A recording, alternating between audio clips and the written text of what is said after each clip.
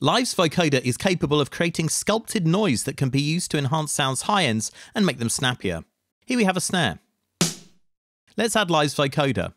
It's set to use the noise carrier by default with the dry wet setting of 100% wet. We get a more solid sound if we turn the number of bands down. Then we turn the dry wet all the way down and dial in the noise level to taste.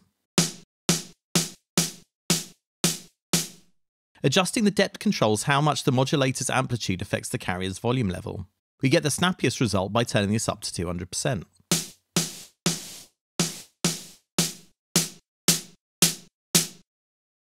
Here's the before and after comparison. I'm Tim Cant. Please like and subscribe for more quick production tips.